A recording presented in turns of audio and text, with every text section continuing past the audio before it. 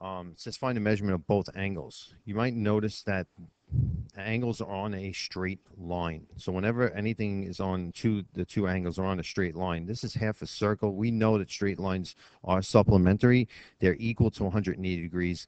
So that means that if you add both of the angles together, if you're adding them both together, they should be equal to 180 degrees. So I'm going to go over here and set up my equation. 4x plus 6x plus 70 equals 180. So the first thing I have to do is combine like terms because they're on the same side of the equal sign. You have 6x plus 4x, which is 10x, plus 70 equals 180. What you have right now is a two-step equation. So you subtract 70 from both sides. 10x comes down, equals 110. You divide by 10, divide by 10, and you got that little trick there that you could cancel out the zeros, and 11 over 1 is 11, so x is 11. So we're not finished. We have to find the measurement of both angles.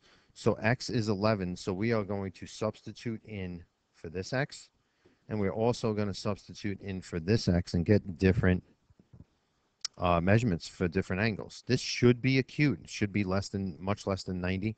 This should be obtuse. So I'm going to rewrite 4x on this side. And I'm going to times it by 11. So this should be 44 degrees. Then I'm going to rewrite this with 11 substituted in. And I'm going to get 66 plus 70. So, just to make sure, 136 degrees. A way to check this would be just to go over here, 136 plus 44, and to make sure that you get 180 degrees. Because remember, it's a straight line. It's supposed to be 180 degrees. They're supplementary. That is exactly how you do that.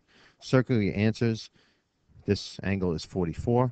This angle is 136. You are finished with this problem.